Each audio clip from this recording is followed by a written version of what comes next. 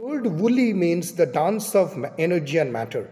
Well, this is a very nostalgic book because I picked it up very early during my childhood, and this book, as I remembered, fomented my interest in physics and mathematics. So, The Dancing Wu Li Masters actually bridges the gap between the Eastern philosophy, the Chinese philosophy, and physics. This is a book which bridges the gap between physics and philosophy. However, the book is excellent.